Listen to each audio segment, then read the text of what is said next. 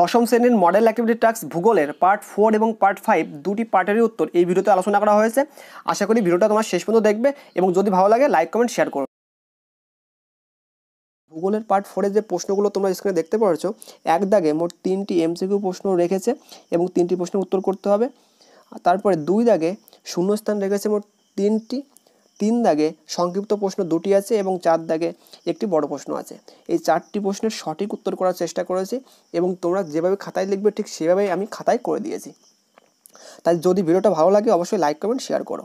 তা যে এক নম্বর প্রশ্নটা আছে, দেখতে পাচ্ছ স্ক্রিনে? বিকল্প থেকে ঠিক উত্তরটি নির্বাচন করে লেখো। এক পয়েন্ট একের যে প্রশ্নটা আছে, অবরোহণ প্রক্রিয়ায় সৃষ্ট একটি ভূমিরূপ হলো চারটি অপশন বলা আছে, প্লাবনভূমি, এসকার, গিরিখাত, স্বাভাবিক বাদ আমরা সবাই জানি যে অবরোহণ প্রক্রিয়ায় এক্ষেত্রে সঠিক উত্তর হয়ে যাবে, গিরিখাত সৃষ্টি হয়। ক্লিয়ার তাহলে আমাদের উত্তর হয়ে যাবে অপশন গ, গিরিখাত। এভাবে লিখে নেবে। এবার এক পয়েন্ট দুয়ের প্রশ্ন। হিমবাহ ও পর্বতগাত্রের মধ্যে সৃষ্ট সংকীর্ণ ফাঁক হলো, এক্ষেত্রে চারটি অপশন আছে, ফিয়র্ড, বাক্সরুন্ড কোরি এডিটি। আমরা সবাই জানি এক্ষেত্রে উত্তরটা সবাই কী হবে? অপশন খ অর্থাৎ বার্কসরুন্ড ঠিক আছে? উত্তরটা সঠিকভাবে লিখে নেবে, এইভাবে যেভাবে আমি লিখেছি। এক পয়েন্ট তিনের প্রশ্ন, ঠিক জোড়াটি নির্বাচন করো।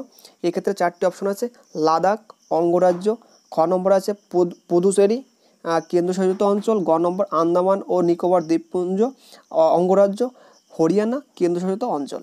এক্ষেত্রে সঠিক উত্তর হয়ে যাবে অপশন খ, অর্থাৎ পুদুচেরি কেন্দ্রশাসিত অঞ্চল। এক্ষেত্রে যে বাকি তিনটে অপশন আছে, লাদাখ অঙ্গরাজ্য নয় এটিও একটি কেন্দ্রশাসিত অঞ্চল। আন্দামান, নিকোবর, দ্বীপপুঞ্জ, এটা হলো একটা কেন্দ্রশাসিত অঞ্চল। আর হরিয়ানা, এটা হলো একটা অঙ্গরাজ্য, ঠিক আছে? এই জন্য এই তিনটি অপশন হবে না। এবার দু নম্বর প্রশ্ন, অর্থাৎ শূন্যস্থান পূরণ করো, খেয়াল করো। দুই পয়েন্ট একের যে প্রশ্নটা আছে, বায়ুর ড্যাশ প্রক্রিয়ায় বালি ও পলিকণা এক স্থান থেকে অন্য স্থানে অপসারিত হয়। এক্ষেত্রে সঠিক উত্তর হবে বায়ুর অবনমন বা অপসারণ প্রক্রিয়া। ঠিক আছে? দুই পয়েন্ট দুয়ের প্রশ্ন, ড্যাশ উপত্যকা পীরপাঞ্জাল ও উচ্চ হিমালয় পর্বতশ্রেণী দ্বারা বেষ্টিত। এক্ষেত্রে সঠিক উত্তর হয়ে যাবে কাশ্মীর উপত্যকা পীরপাঞ্জাল ও উচ্চ উচ্চ হিমালয় পর্বতশ্রেণী দ্বারা বেষ্টিত। আর দুই পয়েন্ট তিনের প্রশ্ন, উত্তর সরি ড্যাশ মৌসুমি বায়ুর প্রভাবে ভারতে শীতকাল প্রায় শুষ্ক প্রকৃতির হয়। এক্ষেত্রে সঠিক উত্তর হয়ে যাবে, উত্তর পূর্ব মৌসুমি বায়ুর প্রভাবে ভারতে শীতকাল প্রায় শুষ্ক প্রকৃতির হয়। এই ছিল দুই দাগের যে তিনটি শূন্যস্থান তার উত্তর, ঠিক আছে? এবার আলোচনা করব তিন নম্বর প্রশ্ন।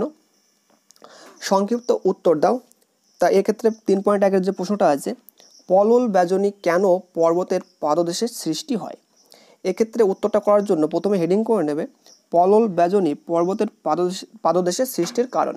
তারপরে লিখবে, পর্বতের পাদদেশে ভূমির ঢালের হঠাৎ পরিবর্তনের ফলে নদীর বহন ক্ষমতা কমে যায় এবং সমস্ত ক্ষয়জাত পদার্থ যেমন নদীবাহিত পলিরাশি, নুড়ি পর্বতের পাদদেশে সঞ্চিত হয়ে পলল শঙ্কু গঠন করে। অনেকগুলি পলল শঙ্কু জুড়ে গিয়ে বিস্তার লাভ করলে এটি অর্ধগোলাকার হাত পাকার মতো দেখতে হয় বলে একে পলল ব্যজনী বলা হয়। তারপরে এই যে ডান সাইডের চিত্রটা দেখতে পাচ্ছ এই চিত্রটা কিন্তু এঁকে নেবে এবং উদাহরণ দেবে, পূর্ব হিমালয়ের পাদদেশে তরাই অঞ্চলে অনেক পলল ব্যজনে দেখা যায়। তোমাদের বলে রাখি, এই ভূগোলের ক্ষেত্রে যে সকল প্রশ্নের চিত্র দেওয়া সম্ভব তোমরা অবশ্যই চিত্রগুলো দেওয়ার চেষ্টা করবে। কেননা চিত্র দিলে নাম্বার কাটার সুযোগ থাকে না। এই ক্ষেত্রে এই প্রশ্নটাই কিন্তু কখনোই বলেনি যে চিত্র সহ তুমি এটাকে ব্যাখ্যা করো। কিন্তু আমরা চিত্রটা দিতে পারি, এই জন্য দেবো। তাহলে কিন্তু এটার পুরো নম্বর তোমরা তোমরা পেয়ে যাবে। এবার দুই পয়েন্ট তিনের প্রশ্ন। কি বলেছে? ধাপ চাষ, ফালি চাষ ও সমোন্নতি রেখা বরাবর চাষের মাধ্যমে কীভাবে মৃত্তিকা ক্ষয় প্রতিরোধ করা সম্ভব? এক্ষেত্রে উত্তরটা করার আগে লিখে নেবে, ধাপ চাষ, ফালি চাষ ও সমোন্নতির রেখা বরাবর চাষের মাধ্যমে মৃত্তিকা ক্ষয় প্রতিরোধ করার উপায়সমূহ নিচে আলোচনা করা হলো, এভাবে লিখে নেবে, তারপরে প্রত্যেকটা পয়েন্ট করে লিখবে। এখন প্রথম পয়েন্টটা ছিল, পার্বত্য অঞ্চলে ধাপ চাষ। এক্ষেত্রে ব্যাখ্যাটা কি করবে? পার্বত্য অঞ্চলের ঢালু জমিতে ধাপ গঠন করলে জল প্রবাহকে নিয়ন্ত্রণ করা যায়। এভাবে সমগ্র জমিকে ধাপে ধাপ চাষে কাজে লাগালে ও সঠিকভাবে রক্ষণাবেক্ষণ করলে মাটি ক্ষয়ের হাত থেকে রক্ষা পায়। ক্লিয়ার এবার দ্বিতীয় নম্বর যে পয়েন্ট ফালি চাষ, সেটা হেডিং করে লিখবে, ভূমির ঢালের আড়াআড়িভাবে ফালি তৈরি করে শস্য রোপণ করলে তা ভূমিক্ষয় প্রতিরোধ করে। এবার লাস্টের যেটা আছে, সমোন্নতি রেখা বরাবর কৃষিকাজ। তারপরে লিখবে, সমোন্নতি রেখা বরাবর জমিগুলিতে আল বা বাদ দিয়ে কৃষি জমি তৈরি করে চাষাবাস করলে প্রবাহমান জলের গতি বাধাপ্রাপ্ত হয় এবং মৃত্তিকা ক্ষয়ের পরিমাণ হ্রাস পায়। ঠিক আছে, এই ছিল তিন নম্বর, তিন পয়েন্ট দুইয়ের প্রশ্নের কমপ্লিট উত্তর। এবার আলোচনা করব একদম লাস্ট প্রশ্ন, অর্থাৎ চার নম্বর প্রশ্ন। হিমবাহের সঞ্চয় কার্যের ফলে গঠিত বিভিন্ন প্রকার গ্রাফ রেখার সচিত্র বর্ণনা দাও। এখন চার নম্বর প্রশ্নের উত্তর করতে হলে অবশ্যই তোমাকে সুন্দর করে একটা চিত্র আঁকতে হবে। তোমরা স্ক্রিনে দেখতে পারছ, এইভাবে একটা চিত্র এঁকে নেবে। ঠিক আছে? তোমরা তোমাদের বই থেকে উত্তরটা করতে পারো। তারপরে হেডিং করে রাখবে প্রথমে হিমবায়ের অবক্ষেপণ বা সঞ্চয় কার্যের ফলে সৃষ্ট ভূমিরূপ। তারপরে গ্রাফ রেখা বলে আবার হেডিং করবে। তারপরে দেখতে পারছ, ব্যাখ্যাটা করে নেবে। আমি তোমাদের প্রথমে জুম করে চিত্রটা দেখিয়ে দেই, তোমরা চিত্রটা ভালোভাবে আঁকবে। খেয়াল করো। এইভাবে প্রথমে চিত্রটা এঁকে নেবে খাতায়, ঠিক আছে? দেখতে পারছ এখানে কি কি আছে?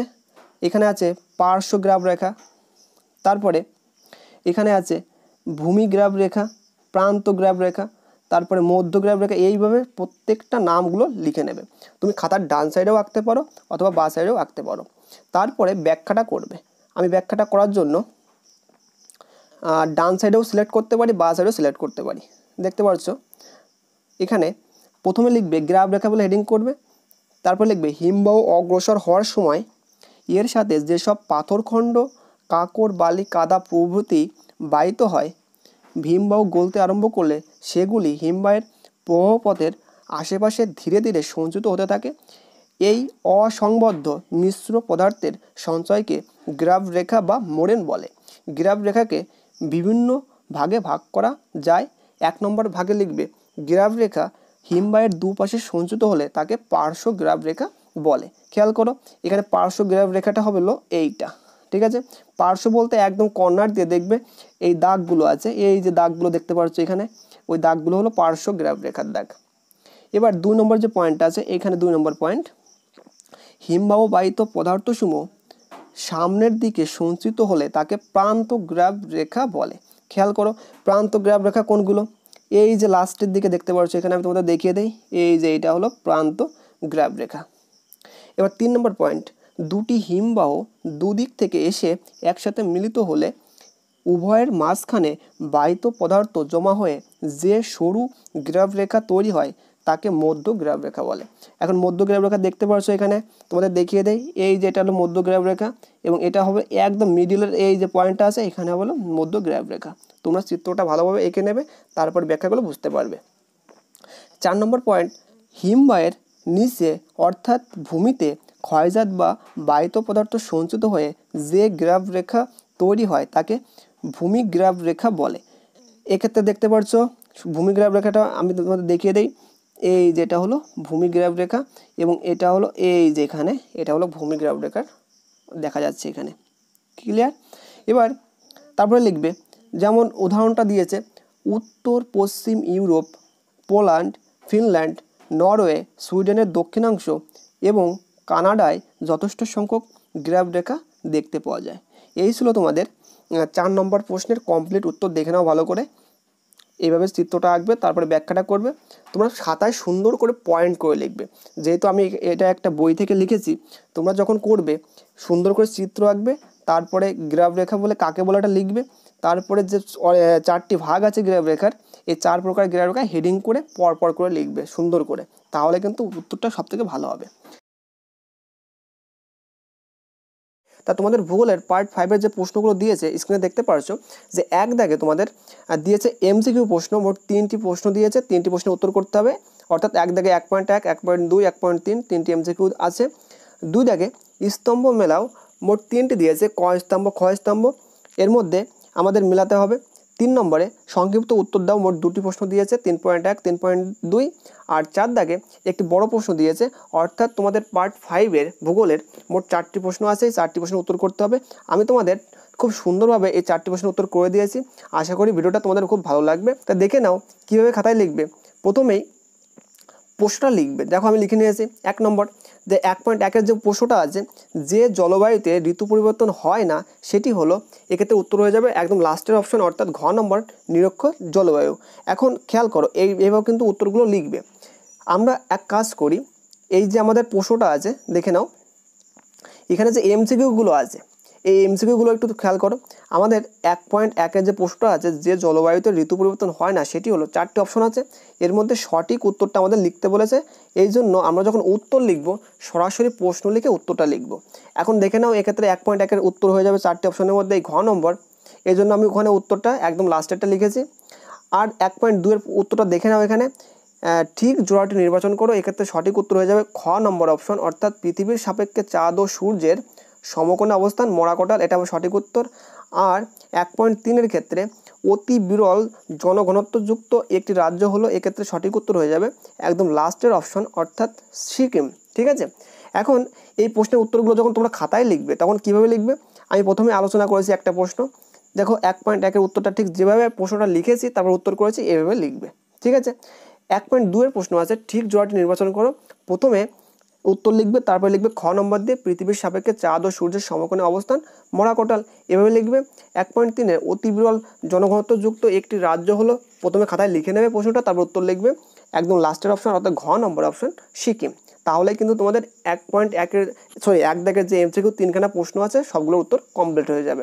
এখন আমাদের দুই দাগের প্রশ্ন, অর্থাৎ স্তম্ভ মেলাও। এক কাজ করি, আমরা আগে প্রশ্নের স্তম্ভটা একটু পড়ে আসি, তারপরে আমরা উত্তরটা খাতায় করব। ঠিক আছে? খেয়াল করো, তোমরা এখানে দেখতে পারছ যে দুই দাগে স্তম্ভ মেলাও, ক স্তম্ভ এবং খ স্তম্ভ আছে। প্রথম দুই পয়েন্ট একের প্রশ্নটা হলো, বিশুদ্ধ কাঁচামাল এক্ষেত্রে মিলবে হলো কার সঙ্গে? তুলোর সঙ্গে, অর্থাৎ খ নম্বরের সঙ্গে মিলবে। ক্রান্তীয় ঘূর্ণবাদ এখানে মিলবে হলো একদম লাস্টেরটা অর্থাৎ ঘ নম্বর সরি গ নম্বরের সঙ্গে ইয়াস আর পেরু স্রোত এটা মিশবে হলো একদম প্রথমটার সঙ্গে অর্থাৎ আটাকামা মরুভূমি। এখন তোমরা যখন খাতায় লিখবে তখন অবশ্যই এক কাজ করবে, এইভাবে লিখবে, আমি যেভাবে লিখেছি এভাবে লিখবে, লেখার চেষ্টা করবে। দেখো, প্রথমে দাগ নম্বর দিয়ে উল্লেখ করবে, ক স্তম্ভ এবং খ স্তম্ভ উল্লেখ করবে। তারপরে দাগ নম্বর লিখবে মানে কি টু পয়েন্ট ওয়ান লিখে বিশুদ্ধ কাঁচামাল, তারপরে এই অ্যারোসোনোটা দেবে, ঠিক আছে? তারপরে লিখবে খ স্তম্ভের সঙ্গে তুলো, ঠিক আছে? আমাদের মিলাতে বলেছে, তাই আমরা ঠিকভাবে লিখব, সরাসরি লিখব। দুই পয়েন্ট দুয়ে লিখব, ক্রান্তীয় ঘূর্ণবাদ অ্যারোসোনো দেবো, তারপরে গ নম্বর দেবো, ইয়াস লিখব। দুই পয়েন্ট তিনে পেরু স্রোত লিখব, অ্যারোসোনো দেবো, ক নম্বর লিখব, তারপর লিখব আটাকামা মরুভূমি। তাহলে কিন্তু আমাদের দুই দাগের যে স্তম্ভ মেলাও, যে তিনটি প্রশ্ন কমপ্লিট হয়ে যাবে। এইভাবে করবে খাতায়, তাহলে কিন্তু সব থেকে ভালো হবে। এবার আলোচনা করব তিন দাগের প্রশ্ন, কি বলছে দেখো? সংক্ষিপ্ত উত্তর দাও।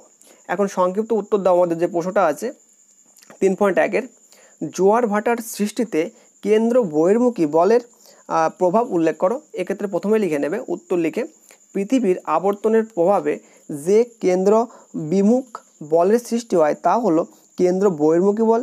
এই বলের প্রভাবে সমুদ্রের জল বাইরের দিকে নিক্ষিপ্ত হওয়ার প্রবণতা লাভ করে এবং এটি মহাকর্ষ বলের বিপরীতে কাজ করে। এরপরে লিখবে, অতএব চাঁদের আকর্ষণে পৃথিবীর যে অংশে জোয়ার হয়, ঠিক তার প্রতিবাদ অংশে চাঁদের মহাকর্ষ শক্তি অপেক্ষা কেন্দ্র বহির্মুখী বল অধিক হওয়ায় সেখানেও সমুদ্রের জল ফুলে ওঠে। এটি হলো গৌণ বা পরোক্ষ জোয়ার। এই জোয়ারে জল কম ফুলে ওঠে। এইটুকু লিখলেই কিন্তু তোমাদের তিন পয়েন্ট একের যে প্রশ্নটা আছে, তার উত্তর কমপ্লিট হয়ে যাবে। এভাবে লিখে নেবে তাহলে।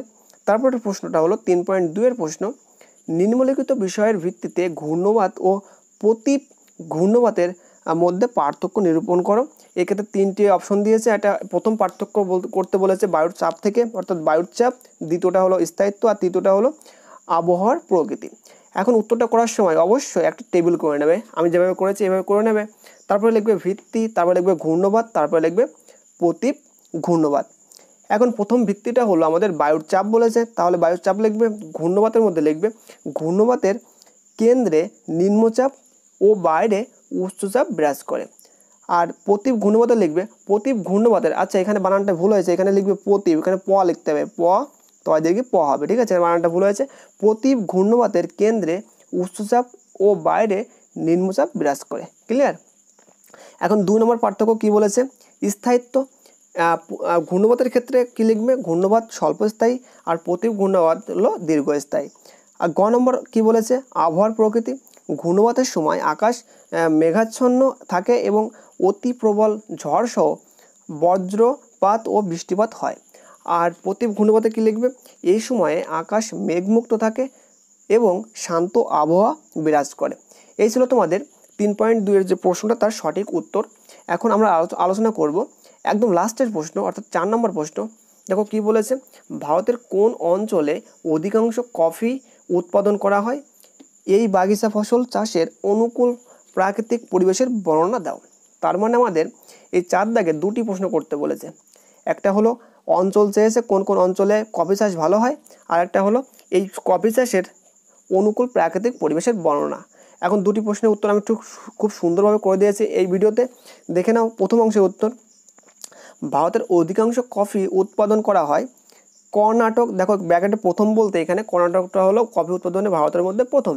কর্ণাটক দুই নম্বরে লিখবে কেরল, তারপরে তামিলনাড়ু অঞ্চলে। তাহলে প্রথম পার্টের উত্তর ঠিক এইটুকু লিখে নেবে, তাহলে কিন্তু হয়ে যাবে। এখন আলোচনা করব এর দ্বিতীয় পার্ট, কফি চাষের অনুকূল প্রাকৃতিক পরিবেশ, ঠিক আছে? এখন বর্ণনা করতে বলেছে, তাহলে একটু বড় করে লিখবে। প্রথমে লিখবে হেডিং করবে, জলবায়ু, তারপরে লিখবে, কফি উষ্ণ ও আর্দ্র ক্রান্তীয় জলবায়ুর ফসল। এখন এই জলবায়ুর মধ্যে কিছু আবার গুরুত্বপূর্ণ বৈশিষ্ট্য আছে। যেমন এক নম্বরে লিখবে উষ্ণতা। ঠিক আছে? এই যেমন উষ্ণতা দেখতে পাচ্ছ উষ্ণতার মধ্যে লিখবে উচ্চভূমিতে চোদ্দ ডিগ্রি থেকে ছাব্বিশ ডিগ্রি সেলসিয়াস এবং নিম্নভূমিতে কুড়ি ডিগ্রি থেকে তিরিশ ডিগ্রি সেলসিয়াস উষ্ণতা প্রয়োজন। ঠিক আছে? এর দ্বিতীয় পয়েন্টে লিখবে বৃষ্টিপাত। গড়ে একশো থেকে দেড়শো সেমি বৃষ্টিপাত প্রয়োজন। আর তিন নম্বরে লিখবে আর্দ্রতা, উষ্ণ ও আর্দ্র অবস্থা হলে ভালো হয়। এই হলে কিন্তু এইগুলো লিখলে কিন্তু যেভাবে লিখেছি এইভাবে লিখবে, তাহলে কিন্তু আমাদের উত্তরগুলো ভালো হবে। এখন দুই নম্বর পয়েন্ট লিখবে ছায়া দানকারী বৃক্ষ। সরাসরি সূর্যকিরণ কফি গাছের ক্ষতি করে বলে কফি খেতে কলা, ভুট্টা প্রভৃতি ছায়া প্রদানকারী গাছ লাগানো হয়। তিন নম্বর পয়েন্টে লিখবে, মাটি। মৃদু অম্লযুক্ত বা অম্লধর্মী, পটাশ ও হিউমাস সমৃদ্ধ মাটি কফি চাষে আদর্শ। ভারতের লাল দোয়াশ ও লাভাজাত মাটিতে কফি চাষ ভালো হয়। ঠিক আছে? আমি যেভাবে লিখেছি সেভাবে লিখতে পারো। আমি একটু বানিয়ে বানিয়ে বলছি। তোমরা একটু লিখে নেবে, যা আছে তাই। চার নম্বর প্রশ্ন, জমি, জল নিকাশের সুবিধাযুক্ত পাহাড়ের ঢালু জমি কফি চাষের পক্ষে আদর্শ। পাঁচ নম্বর পয়েন্টে লিখবে কুয়াশা কুয়াশা কফি গাছে কফি গাছের কী করে? বৃদ্ধিতে সহায়তা করে। ঠিক আছে? এইটুকু লিখলেই, পাঁচটা পয়েন্ট লিখলেই কিন্তু আমাদের কফি চাষের প্রাকৃতিক যে বর্ণনা, পরিবেশের বর্ণনা, সেটা কিন্তু কমপ্লিট হয়ে যাবে। এই ছিল তোমাদের চারটি প্রশ্নের কমপ্লিট উত্তর। আশা করি ভিডিওটা তোমাদের খুব ভালো লেগেছে। যদি খারাপ লাগে ডিসলাইক করো, আর ভালো লাগলে অবশ্যই কমেন্ট করে জানিও। এরপরে আমি তোমাদের বাকি যতগুলো সাবজেক্ট আছে আর, তাদের পার্ট ফাইভের উত্তর কিন্তু পরপর আপলোড আপলোড করে দেবো। সঙ্গে থেকো। ধন্যবাদ সবাইকে ভিডিওটা সম্পূর্ণ দেখার জন্য।